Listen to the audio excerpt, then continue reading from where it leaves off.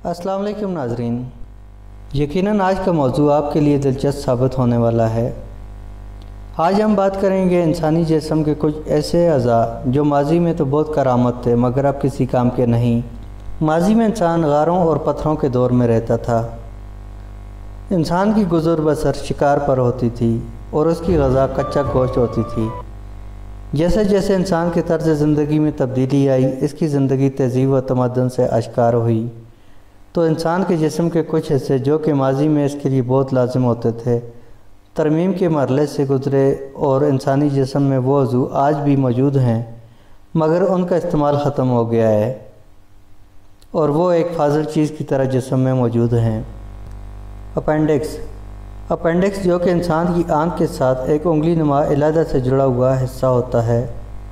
माहरीन का इस हवाले से ये कहना है कि जब इंसान ऐसे पौधों को अपनी गज़ा के तौर पर इस्तेमाल करता था, जिसके अंदर सेलोलोस की बड़ी मकदार मौजूद होती थी तो इंसान को इस गज़ा को हज़म करने के लिए अपेंडिक्स की ज़रूरत होती थी।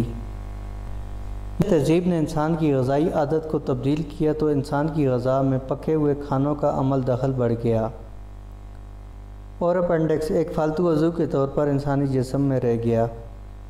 कुछ माहरीन का यह ख्याल है कि अपेंडिक्स में ऐसे बैक्टीरिया मौजूद होते हैं जो कि हाजमे के अमल को बेहतर बनाते हैं।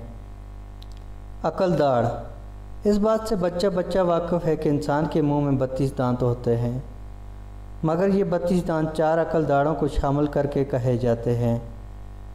जबकि इस दुनिया में एक बड़ी तादाद में इंसान ऐसे भी हैं जिनकी अकल दाढ़ सारी उम्र निकलती ही नहीं। और अक्सर लोगों की जब यह अकल दाढ़ निकल भी आती है तो वो इस अकल दाढ़ को तकलीफ़ के सबब निकलवा भी देते हैं।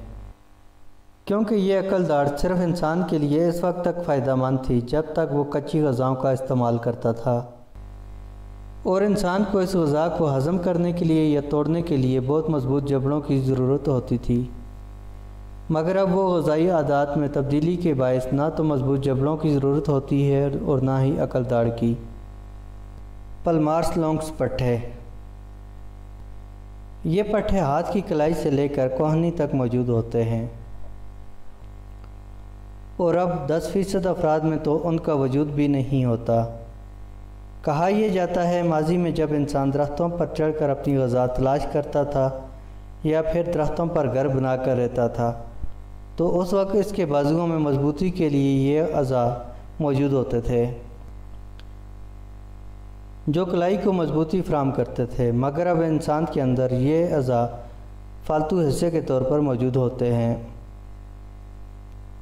अरेक्टर पली तारीख के ऐसे दौर में जब इंसान अपने जिसम को पत्तों से छुपाता था या फिर जानवरों की खालों से अपना लिबास पहनता था, ऐसे दौर में इंसान के जिसम पर बहुत सारे बाल मौजूद होते थे। और उस ज़माने में एरेक्टर पली ऐसे अजलात होते थे जो कि कुल इंसानी जल्द पर बालों के बिल्कुल नीचे मौजूद होते थे। और किसी भी खतरे की सूरत में ये सुकड़ते थे जिससे इंसानी जिसम पर मौजूद बाल खड़े हो जाते थे। और इन रोंगटों के खड़े होने से जिसम की साहत बड़ी हो जाती थी। मगर अब जैसे जैसे जिसम पर से बाल कम होते गए और तर्ज ज़िंदगी में तब्दीली के बायस इन रोंगटों की हाजत नहीं रही तो ये भी इंसानी जिसम में फाजिल हो गए हैं। आर्क्यूलर पट्टे। आर्क्यूलर मसल इंसान के बैरूनी कान के पास मौजूद होते हैं।